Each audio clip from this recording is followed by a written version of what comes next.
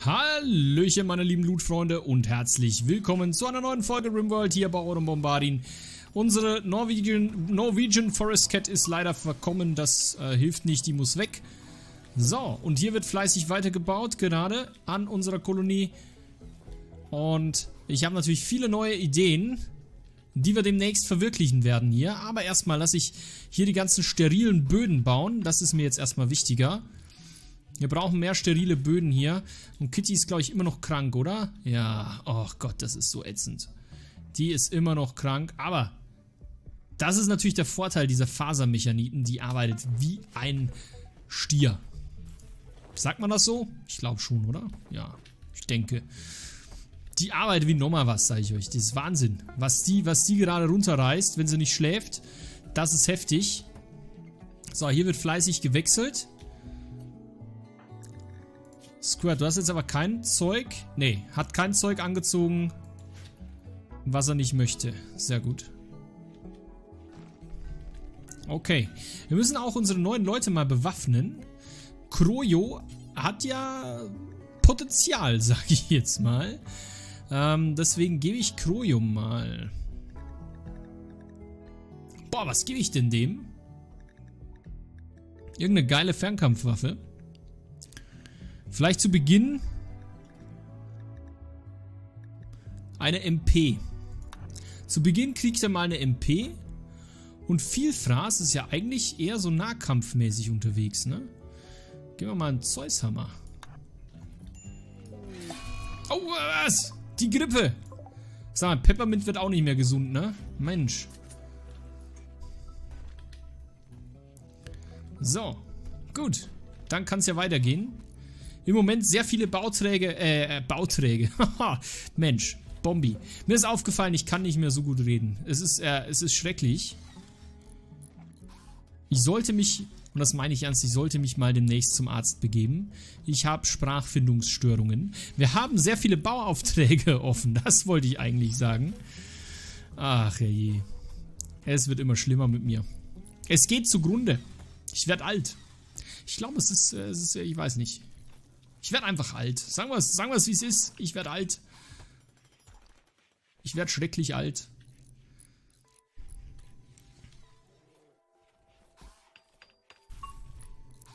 So, jetzt müssen wir ein bisschen warten, bis hier einfach alles ein bisschen mal in die Gänge kommt, ne?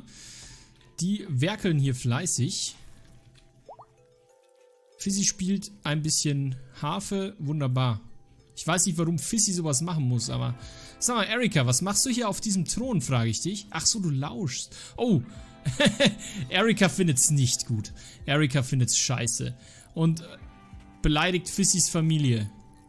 Ja, An Androide Nummer 736 und Androide Nummer 948. Das ist Fissys Familie. Kann ich verstehen. Wäre ich auch sauer.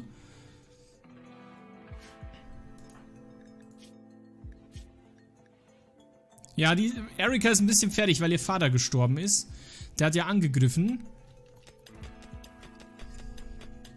Kann ich verstehen, dass er da ein bisschen, bisschen knatschig ist gerade. Aber das hilft halt nicht. Ne?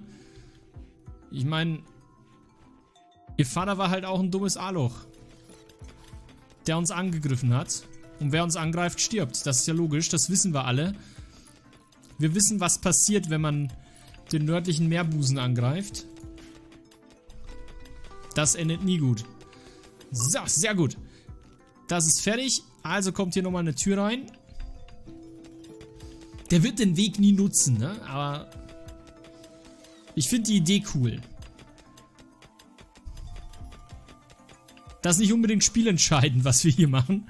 Aber ich finde die Idee geil. Deswegen habe ich es gemacht. So, dann muss hier natürlich auch noch das hier ist ja feine Fliese aus Marmor. Das möchte ich auch hier haben. Der soll hier so einen schönen Weg haben, weißt du? Das muss dann natürlich noch alles geglättet werden und so. Können wir gleich mal einen Auftrag geben. Komm. Die sollen jetzt mal richtig arbeiten. Die hatten jetzt die ganze Zeit nichts zu tun, die faulen Säcke. Von der Baukolonne. Die dürfen jetzt mal, die dürfen jetzt mal so richtig ranklotzen.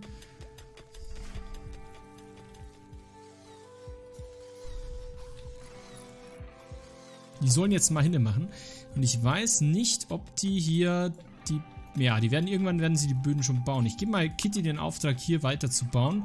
Forschung ist mir jetzt wichtiger als das Krankenhaus. Um ehrlich zu sein. Und Vielfraß bastelt hier schon fleißig, finde ich gut. Vielfraß bringt sich ein, lernt hier schon ein bisschen Konstruktion. Ne? Man sieht hier, wie der Wert steigt. So langsam aber sicher. Und gleich hat sie ein Level up. Und dann ist sie, hat sie immerhin Grundkenntnisse. Das ist schon mal gut. Und ihr seht hier, wie schnell die lernt, ne? Vielfraß lernt wirklich schnell.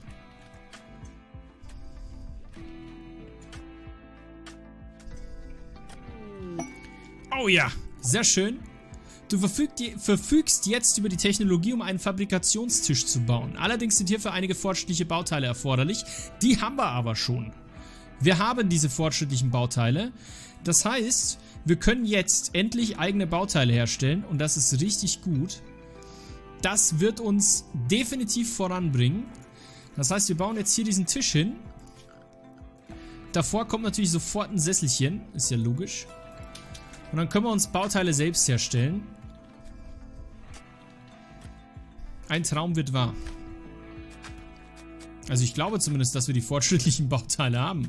Ja, vier Stück haben wir. Oh. Ah ne, zwei brauchen wir nur. Das ist gut. Das ist prima. Wo rennst du denn mit dem Essen hin, Maxton? Achso, der bringt das den Gefangenen. Okay.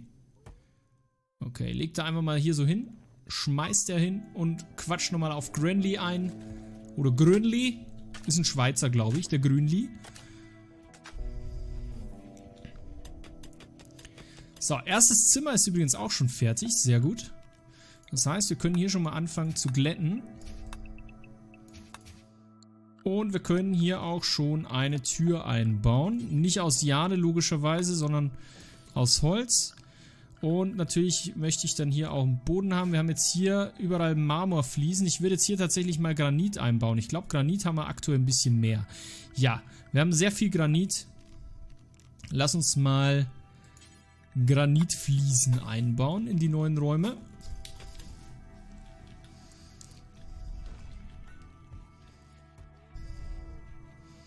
Ja, so langsam wird das Gewusel immer schöner. Ich mag das.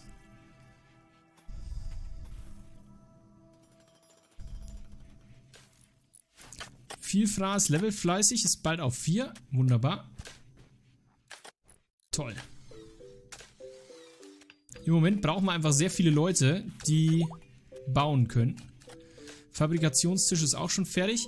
Und da können wir jetzt Bauteile herstellen, so viel wir wollen, aus Stahl. Das ist cool. Im Moment brauchen wir keine, Gott sei Dank. So, Vielfraß ist Stufe 4 in Konstruktion, wunderbar. So manches schlägt noch fehl, aber das ist okay. Ah, die ist echt gut. Also Vielfraß hat echt gute Werte. Das ist mega krass. Schneller Geher, schneller Lerner, das, ist, das sind gute, gute Merkmale.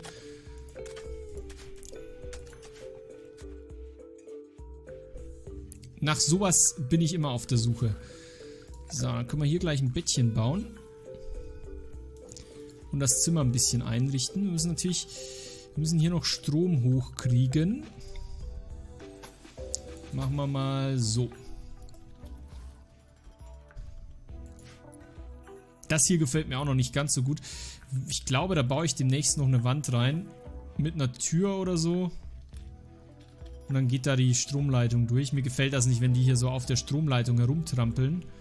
Das finde ich irgendwie nicht so cool.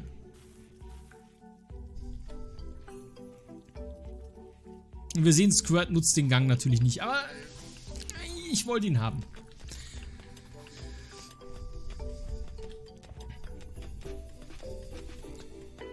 Hier oben ist eh noch relativ finster.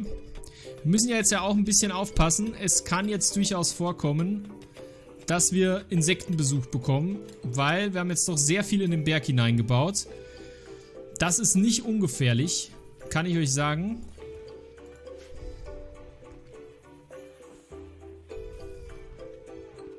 Aber ich mag die Idee. der Wohnräume im Berg drin.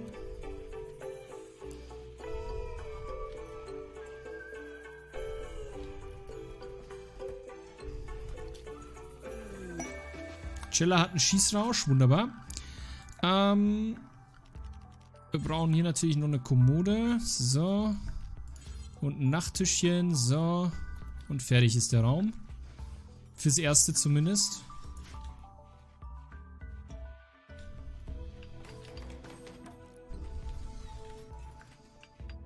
Also ich glaube, ich baue hier tatsächlich eine Wand hin. Weil falls wir dann angegriffen werden oder falls äh, irgendwelche unerwünschten Tierchen auftauchen sollten, kommen die dann nicht sofort durch hier.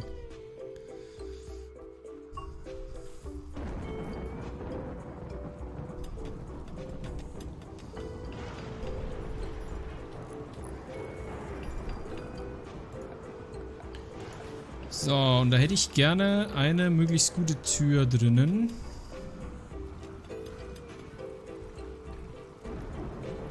Machen wir erstmal Holztüren rein. Ich bin nicht zufrieden damit, aber das, das ändern wir dann noch. Sobald wir bessere Materialien haben. Wir brauchen wieder Holz. Machen wir mal eben hier. Nach dem großen Feuer ist ja alles schon mehr oder weniger wieder nachgewachsen.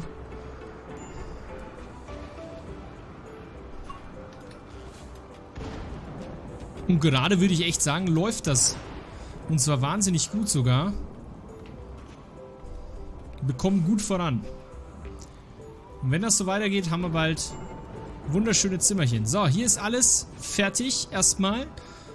Das heißt, wir sollten jetzt maximale Forschungsgeschwindigkeit erstmal haben. Genau, 125% aktuell. Das ist gut.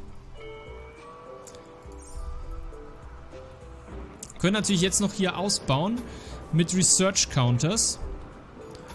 Ein Research Counter bringt, wenn mich nicht alles täuscht, 1%. Das heißt, wir bauen noch mal ein paar ein. 134, das ist schon ganz geil. Ja, das gefällt mir.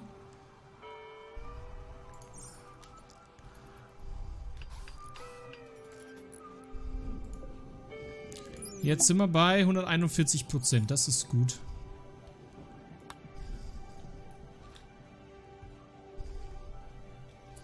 Können natürlich noch hier noch einen hinstellen, hier noch einen hinstellen. Den Analysator können wir auch zubauen, glaube ich. Hier bauen wir noch einen Counter hin. Und dann ist das Zimmerchen eh ziemlich vollgestellt. Mehr muss dann auch, glaube ich, nicht mehr sein.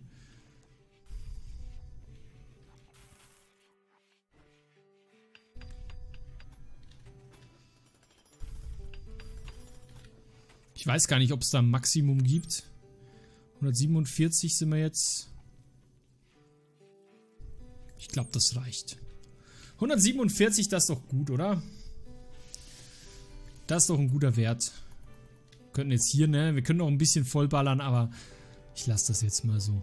147 reicht uns. Das geht jetzt, das geht jetzt eh ruckzuck mit der Forschung immer. Gut, und dann können wir jetzt hier die Stromleitungen ein bisschen verlegen. Und die hier abreißen dann. Hätte ich jetzt natürlich auch neu installieren können und so, aber... So. Dann sieht das alles ein bisschen besser aus. Hier sind die schön versteckt. Und klar, die Tür kostet so ein bisschen Zeit, wenn die da durchlaufen müssen, aber...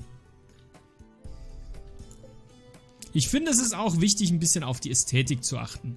So, Kroyo kriegt sein Zimmer hier oben. Hier muss natürlich auch noch ein Boden rein.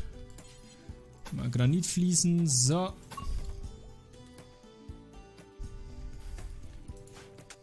Und ich glaube, Kroyo ist gar nicht so unzufrieden mit dem Zimmer, oder? Ich glaube, das ist in Ordnung. Da ist mal echt ein mega Ausbau hier. Alter Finne.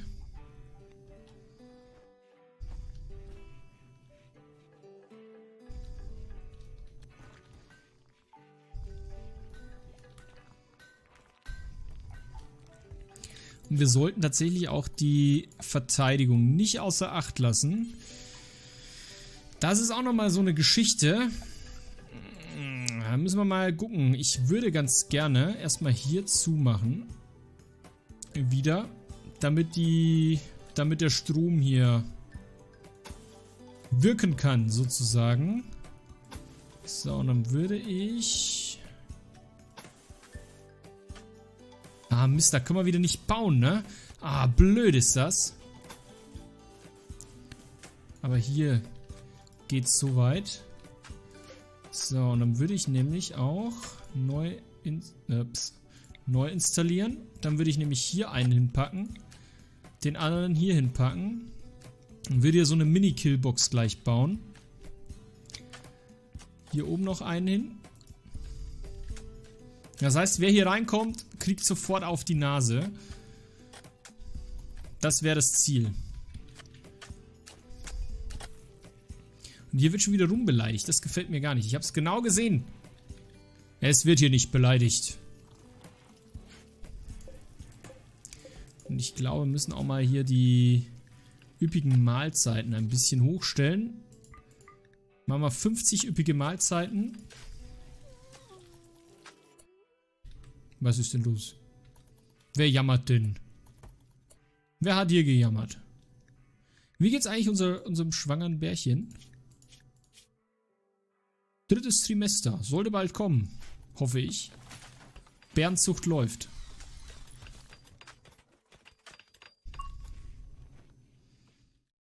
Fifras Stufe 6 in Konstruktion. Sehr gut. Krojo wird beim Pflanzen immer besser. Also wir müssen tatsächlich demnächst mal dieses Gerät zum Entwässern freischalten. In der Forschung.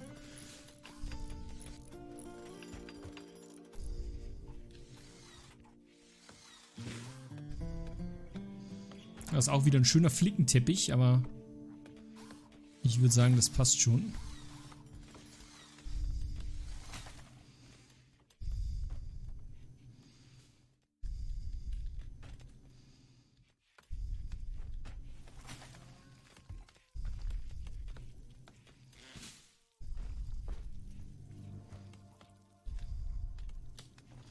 Es gibt so viele Sachen, die wir noch vorhaben.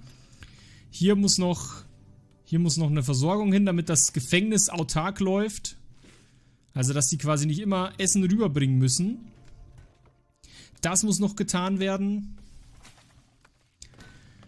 Oh, es gibt echt noch viele Sachen zu tun. Ich, natürlich, die Zimmer müssen wir noch einrichten. Ich möchte auch die Zimmer hier so ein bisschen verschönern, die bisherigen. Die sind nämlich auch noch nicht so der Brüller. Ja, das können wir nicht machen. Dann natürlich die Verteidigung noch ein bisschen besser regeln. Die ist natürlich noch fernab von irgendwie perfekt. Ganz im Gegenteil sogar. Das ist tatsächlich ein bisschen gefährlich, was wir hier machen gerade. Also wenn wir mal richtig angegriffen werden, werden wir ein Problem bekommen. Das kann ich jetzt schon sagen. Und das gefällt mir gar nicht. Also mal so überhaupt nicht.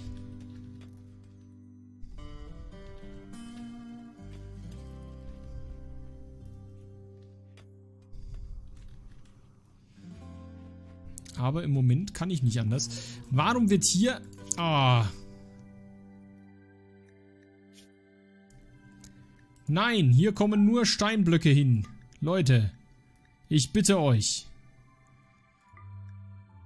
Und meinetwegen noch so Sachen wie Silber, Stahl, Uran, meinetwegen noch, weil das ist Zeug, das kommt hier raus. Aber doch bitte kein Holz. So, ich glaube, das sollte passen. Ja, der kann, weiß nicht, ob das noch rauskommen kann hier. Aber jetzt müsste es passen. Er ist eh bald fertig.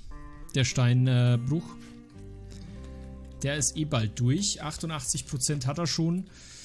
So, hier können wir auch schon wieder anfangen zu glätten.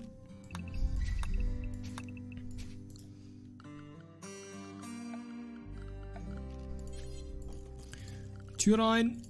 Boden rein. Schwupps. Ab die Post.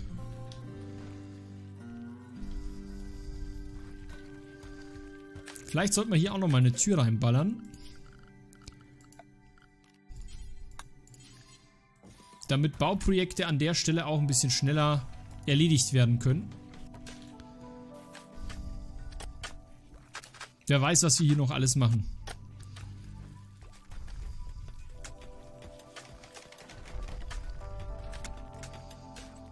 Hier muss auch noch eine Bodenfliese natürlich rein. Ach, so viel zu tun, Leute. Ich sag's euch, so viel zu tun. Ich komme gar nicht mehr klar.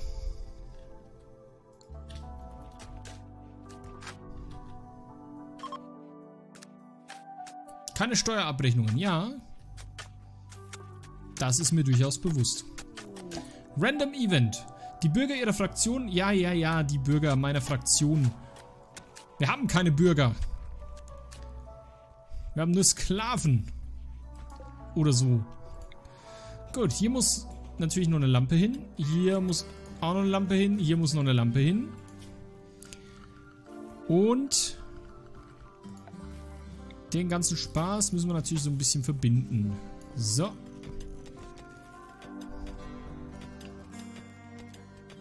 Es werde Licht.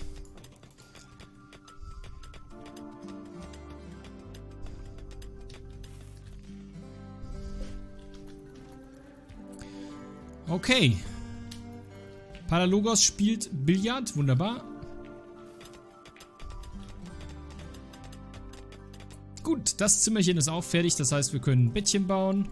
Wir können Nachttisch bauen. Wir können Kommode bauen.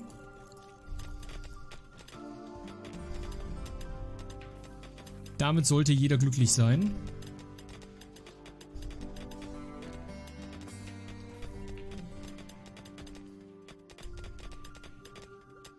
Hier wird schon wieder beleidigt. Das ist echt schlimm. Erika, ist, ist echt das so eine kleine... Das ist so eine kleine Meckerziege. Ach, sie wurde beleidigt? Okay. Ach, right. Aber Erika hat vorher Right beleidigt, ne? Das muss man jetzt auch dazu sagen. Die ist echt häufig... Die ist echt häufig am Beleidigen. Alter Schwede. Erika. Was ist mit dir los? Und sehr schön, dass es dass sie mit Squirt gut klarkommt. Ey, was ist mit der los, ne? Das ist Wahnsinn. Hat sie schon wieder. Beim Rausgehen, habt ihr das gesehen? Beim Rausgehen hat sie schon wieder beleidigt. Was hat sie gesagt? Den Charme von Wright hat sie schamlos. Ey, Erika? Da müssen wir mal reden, glaube ich. So geht das nicht. Ich finde, ich finde, Wright ist ein ganz charmanter Kerl.